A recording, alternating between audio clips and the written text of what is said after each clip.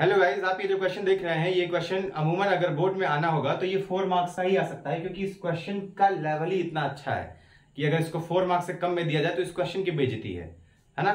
तो गाइज़ चलिए हम देखते हैं ये क्वेश्चन क्या कह रहा है। कह रहा है कि a round balloon of radius R एक गोल सा बलून है, जिसका रेडियस कितना है? आर है। तो हम सबसे पहले एक बलून बना लेते हैं, ठीक है? और यहाँ पर हम मान लेते हैं इसका सेंटर है, और ये हो गया इसका क्या?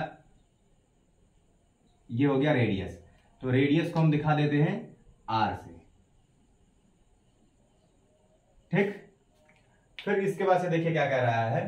फिर कह रहा है कि मान लेते हैं कि यहाँ पर जो ऑब्जर्वर है, उसकी आँखें हैं।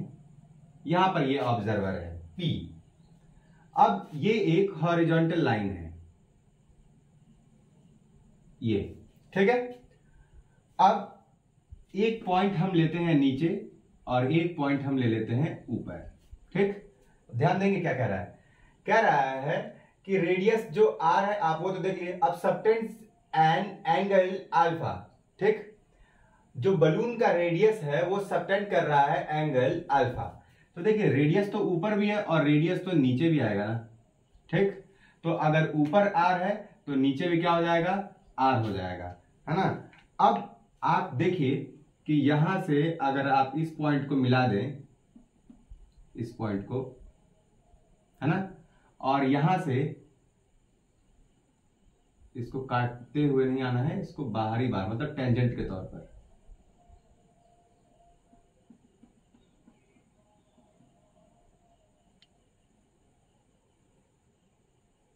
ठीक? कुछ इस तरीके का रहेगा फिगर। है ना? आप एकदम स्केल से अगर बनाएँगे तो एकदम सीधा ही बनेगा। तो कह रहा है, ये एंगल जो बन रहा है ना, यही एंगल अल्फ़ा बन रहा है। ठीक? दूसरी बात क्या कह रहा है? कह रहा है while the angle of elevation of its centre is beta कह रहा है कि इसके सेंटर पर अगर हम देखें तो जो एंगल बन रहा है, अब सेंटर कहाँ है? ये है। तो सेंटर पर जो एंगल बन रहा है एलिवेशन एंगल वो कितना बन रहा है? वो बीटा एंगल बन रहा है। ठीक? आप देख रहे ना, बीटा कहाँ से है? बीटा है यहाँ से यहाँ तक। हॉरिजॉन्टल से सेंटर तक, है ना? अल्फ़ा कहाँ से कहाँ तक है? अल्फ़ा इस वाले पॉइंट से लेकर के और ऊपर वाले पॉइंट तक, है ना?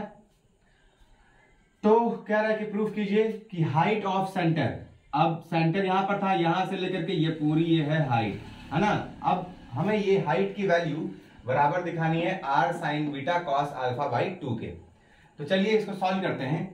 सबसे पहले हम थोड़ा नाम दे देता ताकि हमें समझ में आए। ये है ओ मान लीजिए इसको P तो इसको आप मान लीजिए Q, इसको आप मान लीजिए P तो मान ही चुके हैं तो इसको आप A मान लीजिए, ठीक, और इसको आप C मान लीजिए। ठीक है, अब चलिए अब इसको सॉल्व करते हैं कि किस तरीके से ये सॉल्व होगा। तो सबसे पहले हम जाए in triangle in triangle Q P O Q P O है ना? अब देखिए, ये ये पूरा एंगल अल्फ़ा था। तो यहाँ से यहाँ से जितना ओ क्यू की दूरी है, उतना ही तो ए ओ की दूरी है। इट मींस कि ये वाला जो एंगल हो जाएगा ना, ये वाला एंगल ये इसके वजह से दो हिस्सों में बट रहा है। ऊपर वाला अल्फ़ा बाई टू हो जा रहा है और नीचे वाला भी अल्फ़ा बाई टू हो जा रहा है। तो हम तो नीचे वाले ट्रायंगल की बात कर रहे हैं। तो हम क्या लिखेंगे? यहाँ अगर हम लिख ले साइन अल्फ़ा बाई टू तो साइन का फॉर्मूला क्या होता है? परपेंडिकुलर बाई हाइपोटेनस अब इस एंगल के सामने क्या है? परपेंडिकुलर ठीक, और एक टेंजेंट के और रेडियस के साथ में एंगल कितना बनता है? 90 डिग्री का बनता है, यानी ये हो गया हाइपोटेनस ठीक तो देखिए, हम क्या लिखेंगे? एंगल जो है अल्फ़ा बाई टू तो sine alpha by two is equal to perpendicular perpendicular क्या है? आर ठीक, और हाई तो हाइपोटेनस को हम क्या लिख सकते हैं? हाइपोटेनस को हम इसके नाम से लिख सकते हैं, क्योंकि कोई वैल्यू नहीं है। तो हम क्या लिखेंगे? ओपी या फिर पी ओ लिख देंगे। ओपी लिखते हैं, है ना? तो यहाँ से क्या हो जाएगा? अगर हम इसको क्रॉस मल्टीप्लाई कर ले, हालाँकि अच्छे से पहले लिख लेते हैं sine alpha by two is equal to R by OP तो ओपी की वैल्यू निकालनी होगी तो ये क्या हो जाएगा? इस तरफ़ लेके आएँगे।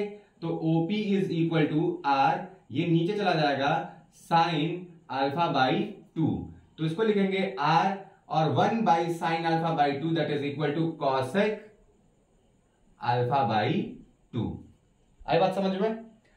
अब हम कहाँ पे आ जाएँगे? अब हम दूसरे ट्रायंगल में आ जाएँगे। यानी इन ट्राइंगल देखिए ओ पी सी ठीक है? ओपीसी ट्राइंगल में आ जाएँगे। ओपीसी ट्राइंगल में।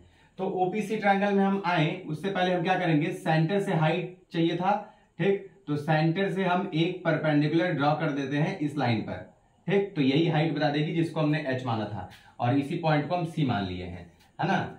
तो अगर हम देखें हाइट यहाँ पर निकाला था, यहाँ हम क्या निकालेंगे? यहाँ पर भी हम साइन लेकिन यहाँ एंगल कौन सा है? एंगल है बीटा ठीक? तो sine beta is equal to formula तो वही रहेगा perpendicular by hypotenuse perpendicular beta angle के सामने परपेंडिकुलर क्या है? तो हमने एच मान लिया है, पूरे को एच तो परपेंडिकुलर हाइपोटेनस क्या हो जाएगा? हाइपोटेनस तो सेम ही है ओपी देखिए ओ पी सी ट्राइंगल लिया था। तो इसके सामने, यानी ये जो बीटा एंगल है बीटा एंगल के सामने क्या हो जाएगा? ये परपेंडिकुलर और 90 डिग्री के सामने ये हो जाएगा हाइपोटेनस यानी ओपी ठीक?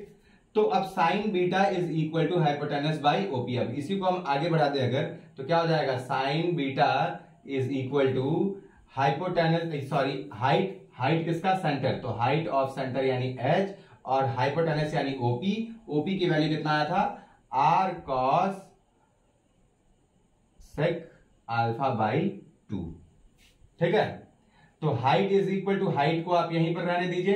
ठीक? हाइट को उसी साइड में हम रहने दिया है और इन दोनों का इधर लेकर के मल्टीप्लाई कर लिया। तो क्या हो जाएगा? साइन बीटा इसका इधर लेकर के मल्टीप्लाई कर लिया तो क्या हो जाएगा? Dot R cosec alpha by two अब इसको मर्ज करके आप थोड़ा सा अरेंज करके लिख लेंगे। तो आर को पहले लिख लीजिए, फिर साइन बीटा फिर कॉसेक अल्फ़ा बाई टू ये क्या हो गया? हाइट ऑफ़ सेंटर हो गया। तो उम्मीद है गाइस कि आप ये समझ गए होंगे। अगर आपको स्क्रीनशॉट लेना है तो मैं हट जा रहा हूँ। इतने लास्ट तक आपने वीडियो देखा इसके लिए बहुत बहुत धन्यवाद। आप ऐसे जुड़े रहिए और आपका प्यार, समर्थन और आशीर्वाद, ये सारा मिलना चाहिए। बहुत बहुत धन्यवाद। जुड़े रहिए आप हमारे साथ।